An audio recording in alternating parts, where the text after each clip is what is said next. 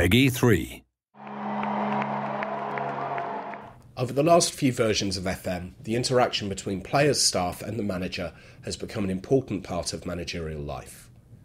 Just like in the real world, the players and backroom staff have a mix of complex personalities, which means that you, as the manager, have to deal with an ever widening variety of queries and concerns.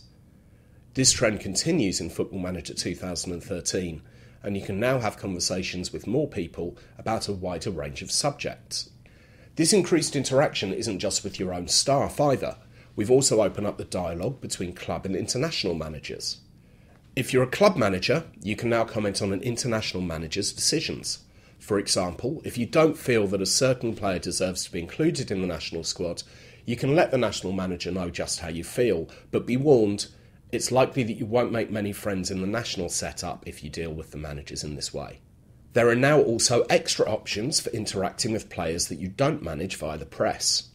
If, for example, you're managing a top flight club and you're trying to sign a good prospect from the lower league club, you can now use the press to send out a message saying how you think that he's too good for the league that he's currently playing in, which will hopefully give him a bit of a confidence boost and endear you to him. New topics of conversation can also help your club achieve success. For example, one such option is to ask one of your playing staff to promote the club to one of his friends or international colleagues that you've an interest in signing. If they agree, then you could find your chances of signing the player have improved. Away from all the new conversation topics, we've also made a number of improvements to the existing conversation structures. In FM13, you can go deeper when it comes to dealing with your players.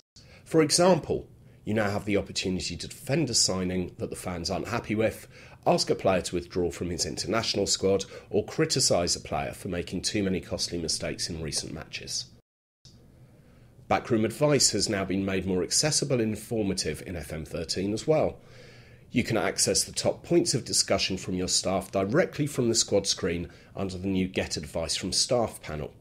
This means that you can be kept in the loop with your staff's recommendations quickly and easily. Your staff will also come to you with advice on more topics, such as what to say in a pre or post match interview, or how to strike a positive relationship with a new affiliate club. You'll also have more interaction options with staff, such as asking a member of staff to stay if another club offers him a contract.